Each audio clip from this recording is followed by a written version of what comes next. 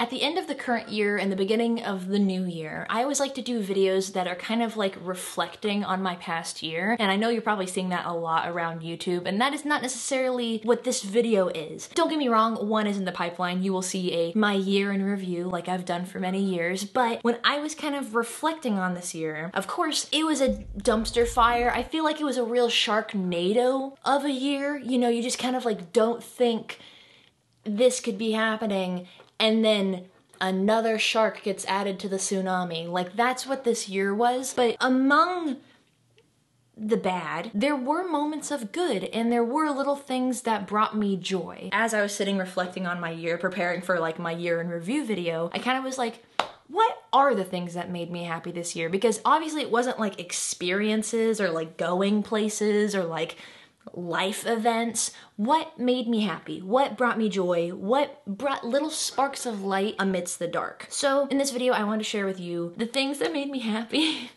and, and, they're all really silly things. They are. 2021 is coming in a day because it is 1 a.m. on December 31st, 2020. So tomorrow is 2021. And even though the calendar page will be turned, things are not changing. You know, we're still gonna be inside the pandemic and all the bad in the world, yada yada. We, we know it. That's all still staying here. So I feel like moving into the new year, being prepared with like what makes you happy so you can go back to it, have it be like, you know, an arsenal of like, oh, a little bit of joy that I need. Let me take that joy.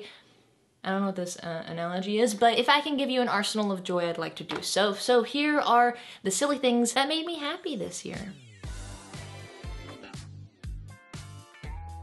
Where do we begin? Let's start with like TV, video, movies is what those are called. They're called movies. The motion pictures, the talkies, as some people may call them still. Anyway, Trolls World Tour eh, if you haven't seen Trolls, the original Trolls 1, you don't necessarily need to in order to understand Trolls World Tour, which is so hard to say. I don't know what it is about the Trolls franchise, but I just, I really do love it, and I regret not getting a picture with Poppy and Branch the last time I was at Universal Studios, to be completely honest. It's on HBO. It has Kelly Clarkson in it. It's fun for the whole family. I cried. It's so good. I just, it's, it's, I, yeah, Okay, the next movie that just came out, I have the pop of Joe there. Soul, Disney Pixar. It just came out, so I'm not gonna really talk about it, but you are going to cry, probably. I did. You have a very much like my life.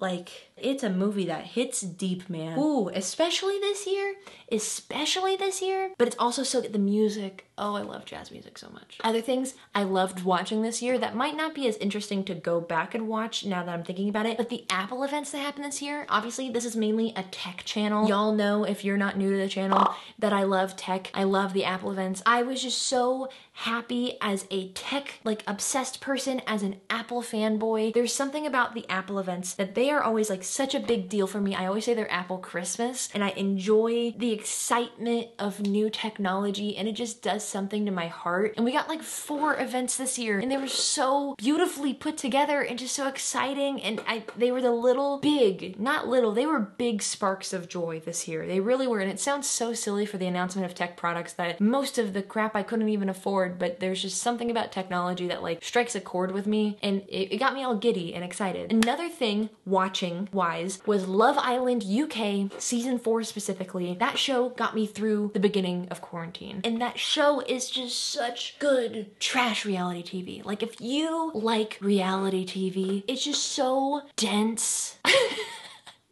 it was so it's so funny. And honestly there's like a couple different versions of love island but the american version i don't think i'd want to watch. Because the fun part about the uk version is trying to figure out what these freaking people are saying. Jack and Dani love them but just trying to figure out what these people are saying because their accents are so thick it's just so fun. It doesn't mean anything. Another thing that was just fun was and welcome to uh, the youtube show on wow presents youtube channel with two of my favorite drag queens, Trixie Mattel and Katya. They have this show on YouTube that is just like two best friends who are also comedians and drag queens just talking about a topic for like 15 and 20 minutes. The editing fantastic. Whoever edits their stuff is also a comedian of their own because it, it's so good. It's such good editing, so much fun. They're in front of a green screen, so like anything can happen. If y'all like drag queens, if you like Trixie and Katya on YouTube, go watch it. It's a good time. Now I want to talk about video games. Video games that I've been loving this year. They're all on the Switch. That's the only game console I have. Among Us brought me tons of joy this year. I think it brought the world tons of joy. The best way to play it, don't go into those random lobbies. You always get kicked out early, but if you play with friends, I was playing with friends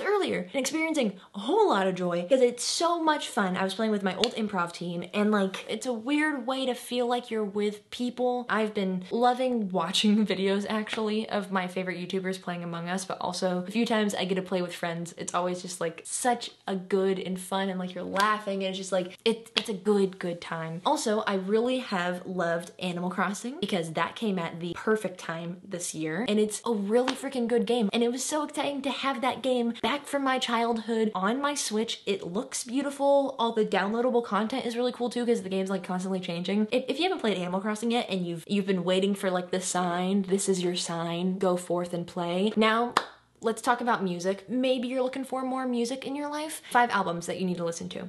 Lady Gaga's Chromatica. Art Pop walked so Chromatica could run. And boy, did Chromatica run. Katy Perry, Smile. Dua Lipa, Future Nostalgia, Ungodly Hour by Chloe and Halle, Trolls World Tour, Trolls World Tour, Trolls World Tour. You'll thank me later. And the last couple of things are all little random things. Something I love this year, doing Duolingo. I'm learning Dutch. Duolingo is such a fun way to learn a language and if I'm grateful for anything this year is to be having, Have is to be, to- to have been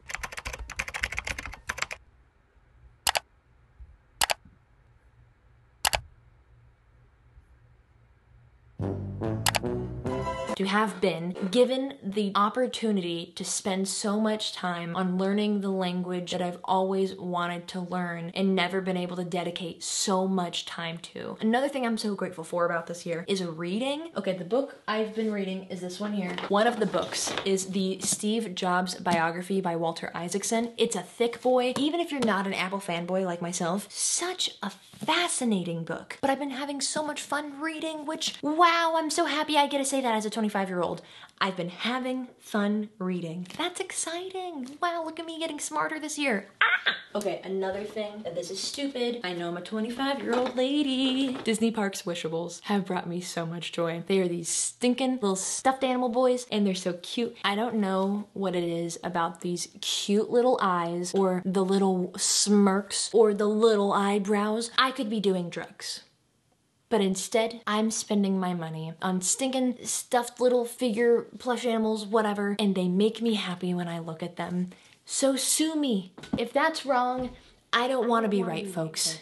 I feel like the wishables are a very niche thing, but I love them so much. Another thing I don't think I've ever talked about online is my knitting. I've also picked this back up. I've knit since I was, I think, 10 years old, so I've knit for about 15 years. I made this this shawl thing I'm very into that is very soft, and it is just such a nice and relaxing way to kind of like unwind and just do something that isn't just sitting and staring at a screen. I've been really loving knitting. If you don't know how to knit, definitely like look it up on YouTube. It's a good time. Knitting is a good time and I've loved getting back into it and honestly, getting better. I'm, I'm getting better. I've been knitting for 15 years. All I've ever done is rectangles and squares, but I feel like I'm getting better. And maybe 2021 is the year I go into things that are not squares and rectangles. Who knows? Anything is possible. The New York Times crossword puzzle. I've been into crossword puzzles for a long time and I used to get People magazine only for the crossword puzzles. I just kind of spur the moment said I'm gonna buy myself a year subscription to the New York Times games. It was like 30 bucks. Totally worth it. They've got the mini crosswords,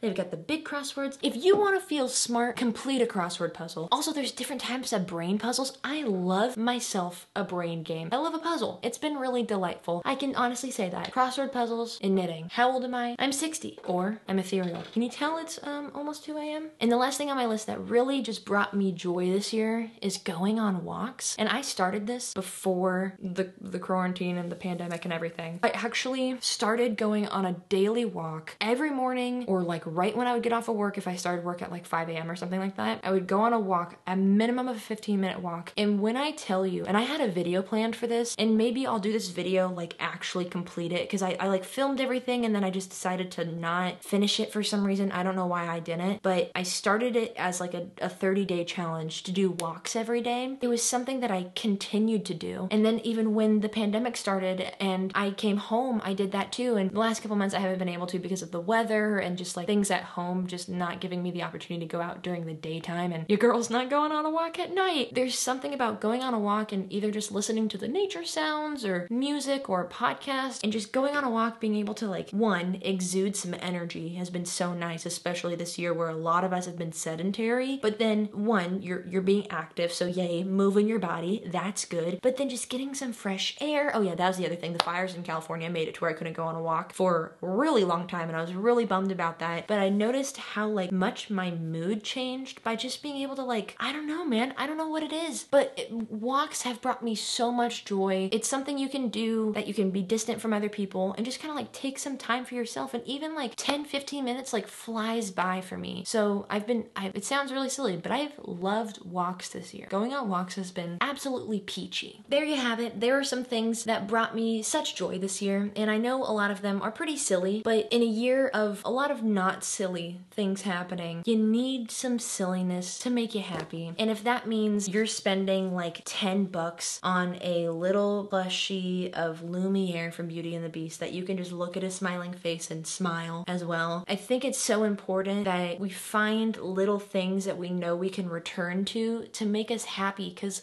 this year did have a lot of darkness in it. It totally did. But like, if we can just find one little candle to bring us some light,